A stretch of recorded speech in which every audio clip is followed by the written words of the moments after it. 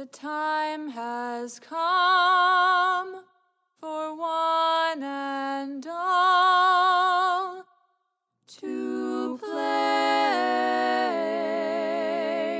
ball.